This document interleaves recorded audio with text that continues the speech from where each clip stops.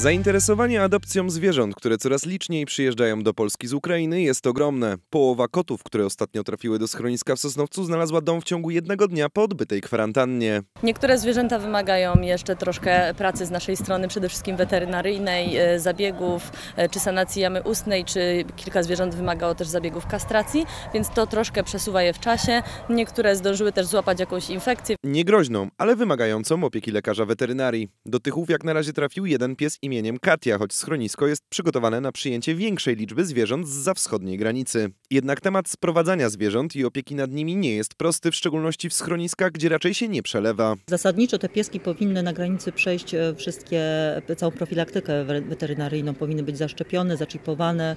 E, Natomiast takie dokumenty do nas nie trafiły, przynajmniej jeżeli chodzi o Katię. Ona mm, przyjechała do nas bez chipa, więc cała ta profilaktyka będzie już po naszej stronie, czyli będziemy musieli od początku ją zaszczepić, ponieważ nie znamy jej historii. Katia musi również przejść obowiązkową kwarantannę, dlatego jej adopcja na pewno opóźni się w czasie. Zostanie też zaszczepiona przeciwko wściekliźnie, bo to jedyne obowiązkowe szczepienie w polskim prawie. Wszystkie inne choroby, nosówka, parwowiroza, kaszel, e, leptospiroza, to są szczepienia nieobowiązkowe i one są, e, te zwierzęta poddawane są na koszt zawsze właściciela, poddawane są e, tym szczepieniom. Adoptując zwierzę, które przyjechało do Polski z terenów działań wojennych, należy również pamiętać, że może ono przeżywać traumę spowodowaną na przykład głośnymi eksplozjami czy ostrzałem i należy takie zwierzę otoczyć specjalną troską.